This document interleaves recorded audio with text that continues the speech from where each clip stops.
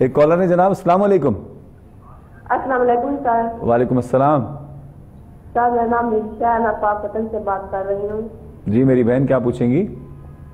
Sir मुझे sugar आया और मैंने आपसे एक क्वेश्चन पूछना है। आप पहले भी एक रिपीट बात कर रहे थे रिपीट से हम्म, और आप बता रहे थे तुरंत फातिया और मुझे शुगर मुझे ग्यारह साल हो गए हैं। अच्छा। और मैं इंसुलिन लगा रही हूँ। अच्छा। और सर मैं सुबह फजर के बाद सूरज फातिया एक सौ मरतबा पढ़ती हूँ। अच्छा माशाल्लाह। और आठ सौ मरतबा बिस्मिल्लाह भी पढ़ती हूँ।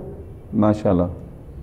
और दूसरा बारह माम है वो मैं सुबह पढ़ती हूँ ग्यारह मतलब दिनेशी पढ़ती हूँ और अवल अवल आप में पढ़ती हूँ। तो आपकी शुगर पे फ़र्क नहीं पड़ा कुछ? जी? शुगर पे आपके कुछ फ़र्क नहीं पड़ा? जी अभी कभी टू हंड्रेड होता है कभी वन वन हंड्रेड टू होती है एक सौ एक सौ सत्तर अस्सी पर होती है। हाँ हाँ। लेकिन इंसुलिन ना लगाऊँ तो बहुत तबीयत खराब हो जाती है और पेन भी बहुत जिसम में होती है। हम्म हम्म। और मैं आपसे ये पूछना चाहती हूँ कि ये जो बारह इमाम होते हैं इसका क्या मकसद है? मुझे आप तफसील में अच्छी तरह तफसील में बता दीजिए। अच्छा। अच्छा आपकी अच्छा आपकी उम्र कितनी है मेरी बहन? सेवनटीन चालीस। और मैं आपसे पूछना चाहती हूँ कि मैं सूरत यासीन भी पढ़ती हूँ फजर के बाद सूरत हरामा सूरत मुकम्मल भी पढ़ती हूँ साथ में। हम्म, और आपसे पूछना चाहती हूँ कि मुझे ये आप बता दें अभी तक फ़र्क तो नहीं पड़ा है लेकिन जो बारह इमाम है ना वो उसके बारे में बता दो। चलें बताते हैं। जी ठीक है। ठीक है बिल्कुल बताते हैं आपको बिल्कुल बताते हैं आपको। क्या फरमाते हैं इनके लिए? देखिए ये जो शुगर एक बीमारी है वैसे इनकी तो गनीमत है मेरा ख्याल जी बीमारी है इसको एज अ बीमारी ट्रीट करें। और किसी अच्छे स्पेशलिस्ट डॉक्टर को ज़रूर इस पर कंसल्ट करें और जो मेडिसिन आपको रिकमेंड है या जो इंसुलिन आप लगा रही हैं वो उसमें नागा ना करें। दूसरा परहेज़ आप करें।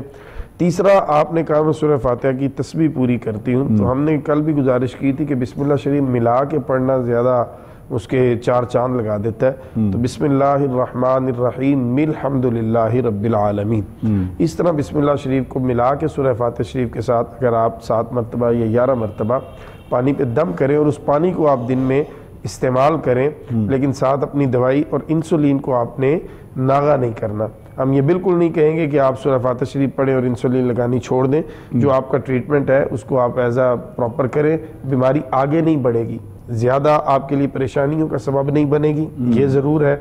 और अल्लाह करे तो आहिस्ता आहिस्ता ही कंट्रोल में आ जाएगी लेकिन आपने फिर वही बात है कि जी मैं इतने अरसे से ये कर रहा हूँ मुझे उसका कोई फ़ायदा नहीं हो रहा। तो ये आप याद रखिएगा कि शिफा अल्लाह ने देनी है। और अल्लाह ने एक टाइम तय कर रखा है मुकर्र है उसी टाइम पे आपको शिफा मिलनी है आपने मायूस नहीं होना। दूसरा बारह इमामों के मुतालिक इन्होंने सवाल पूछा कि बारह इमाम बता दें। बारह इमाम कौन है? तो ये बारह इमाम जो है, ये हज़रत इमाम हुसैन रदी अल्लाह ताला की औलाद पाक जो है, उनमें जो नफूस कुदसिया है आपके साहबजादे हैं इमाम जैनुल आबिदीन फिर उनके साहबजादे इमाम बाक़ फिर उनके साहबजादे इमाम जाफ़िर। तो इस तरह ये जो है ये बारह इमाम बनेंगे ग्यारह इमाम तो आ चुके हैं। बारहवें इमाम इमाम महदी सलाम जिनका नाम मोहम्मद होगा वो कुर्ब क़्यामत तशरीफ़ लाएँगे दुनिया में। तो ये जो हज़रत इमाम हुसैन रदी अल्लाह ताला की औलाद में से नफूस कुदसियाँ हैं उनको बारह इमाम कहा जाता है। और ये अहल बैत अथार के अजीम अफराद हैं जो इल्म तकवा और इबादत के अतबार से यकीनन इनको अल्लाह ने बड़ी इंफरादियत इनफरादियत से नवाज़ रखा है। कि पूरी उम्मत में ये इस मामले में सबसे आला और अरफा नज़र आते हैं। सही। अलाम साहब बहुत